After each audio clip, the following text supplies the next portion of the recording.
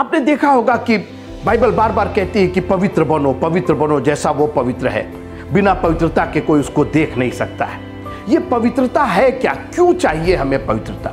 धार्मिकता क्यों चाहिए हमें? खुदा यसु मसीह के पवित्र नाम की स्तुति और बड़ाई करते हुए आज की सुबह आप सबों को जय मसीह की बोलता हूँ।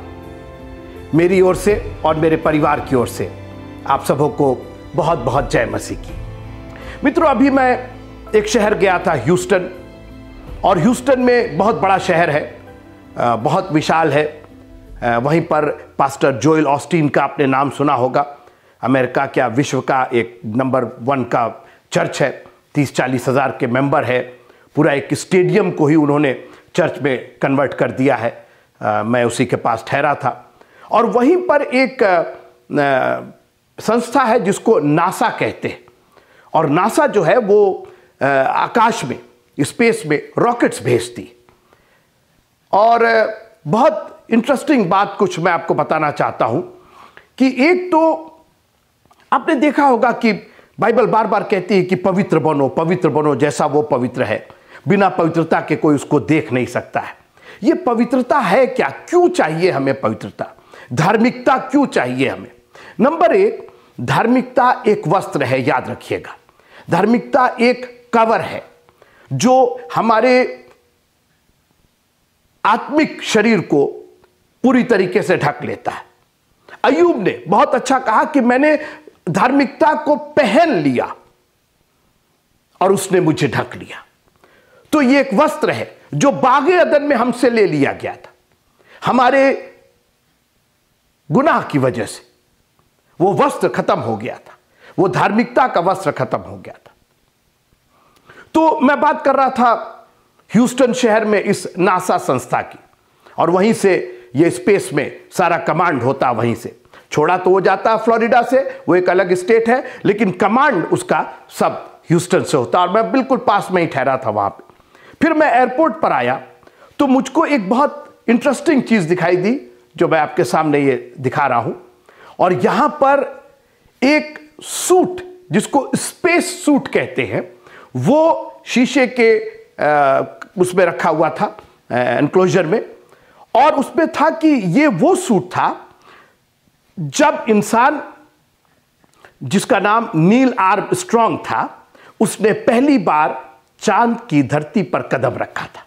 यही सूट वो पहन करके, इसी सूट को पहना था। क्या ज़रूरत है इस सूट की? और ये उसमें लिखा था, ये करोड़ों का है। बल्कि इसका तो मूल्य ही नहीं लगाया जा सकता है, इतना ये एक्सपेंसिव है। आज उसको म्यूज़ियम में रख दिया गया क्या ज़रूरत है? सूट टाई पहन के वो क्यों नहीं जा सकता? कुर्ता पैजामा पहन के क्यों नहीं जा सकता? धोती कुर्ता पहन के क्यों नहीं जा सकता? जीन्स और टी शर्ट पहन के क्यों नहीं जा सकता? कुछ भी पहन के वो क्यों नहीं जा सकता? मित्रों, इसलिए कि वो, ये धरती नहीं, वो एक दूसरा ग्रह है। और वहाँ का जो वातावरण है, वो इस धरती से बिल्कुल फ़र्क है। वहाँ की गर्मी कई सौ डिग्री में होती है। वहाँ की ठंड कई सौ माइनस डिग्री में होती है। हमारा और आपका शरीर भस्म हो जाएगा या जम करके खत्म हो जाएगा। लेकिन जब नील आर्म ने इस सूट को पहन लिया, वो चंद्रमा के सरफेस पर उसके धरातल पर वो उतरा, चला, फिरा और आज जितने भी अंतरिक्ष में जाने वाले अंतरिक्ष यात्री हैं, वो बिना इस सूट के नहीं जाते। बिना इस सूट के जाने का मतलब मौत। आपको चढ़ाया ही नहीं जाएगा। आप कहेंगे, नहीं साहब, हमको ये सूट नहीं पहनना।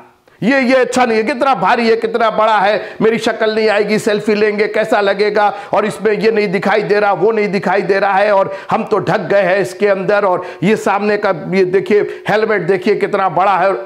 ये सब कहने की बात है। अगर आपको उस चाँद पर, उस स्पेस में जाना है तो बगैर इस सूट के आप नहीं जाएँगे। मैं वहीं खड़े खड़े सोचने लगा कि अगर एक छोटे से ग्रह पर जाने के लिए ये करोड़ों का एक सूट बिना इसके आप जा नहीं सकते हैं। आप सोचिए, आप आसमान की बात कर रहे हैं, आप स्वर्ग की बात कर रहे हैं। अब सब स्वर्ग जाना चाहते हैं। हम यहाँ आते हैं इसीलिए कि अपने आप को तैयार करें स्वर्ग में जाने के लिए। जी, इसीलिए तो हम आते हैं यहाँ। और आप क्या सोचते हैं कि आप ये जीन्स और टी शर्ट पहन करके, ये सलवार कुर्ता और ये साड़ी और धोती कुर्ता और पैंट शर्ट पहन करके, सूट टाई लगा करके हम वहाँ पहुँचेंगे? जी नहीं। वो एक पवित्र जगह है। और हमारे और आपके जैसे लोग कभी पहुँच ही नहीं सकते। हमने गुनाह किया है। मैं, मैं बाइबल कहती है कि मैं पाप के साथ अपनी माता के गर्भ में गया। धन्य मनाइए कि आपके प्रभु ने अपना लहू बहा करके पवित्रता का वो धार्मिकता का वो वस्त्र दिया है जिसको आप पहन लेंगे तो वो आपको ढांक लेगा। और ये पवित्रता का वस्त्र ये धार्मिकता का वस्त्र आपको आसमान में, स्वर्ग में, उसके राज्य में जाने के लिए एलिजिबल बनाएगा, योग्य बनाएगा। एक छोटे से ग्रह पर जाने के लिए करोड़ों का सूट चाहिए। आपकी सारी सुंदरता और जो भी है आप, जो भी आप दिखाना चाहते हैं, सब उसके अंदर छिप गई। चाँद का जब एनवायरमेंट आता है, जब वहाँ के वातावरण में इंसान उतरता है तो सारा प्रकोप इस सूट पर होता है। और इंसान अंदर बिल्कुल सुरक्षित रहता है।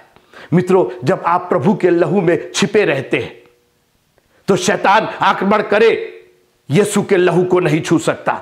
और इसलिए मैं बार बार कहता हूँ, जब भी आप बाहर जाए, भीतर आए, अपने आप को यीशु के लहू से कवर कर लीजिए। अपने बच्चों को यीशु के लहू से कवर कीजिए।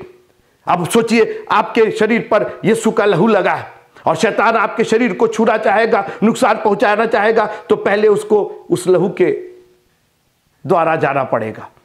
और यीशु मसीह के लहू की जो ताकत है मित्रों, वो हमारे सारे पापों को धोने में विश्वास योग्य धर्मी उसने हमारे लिए अपना लहू बहाया है। और इसलिए उस धार्मिकता के वस्त्र पर कोई कॉम्प्रोमाइज मत कीजिएगा। आप कहिएगा, मुझे वो धार्मिकता का वस्त्र चाहिए। कहाँ मिलेगा? खुदा के कलाम में मिलेगा। वो धार्मिकता का वस्त्र जब उड़ाऊ पुत्र लौट करके आया, बोला, छठ, अच्छे से अच्छा वस्त्र।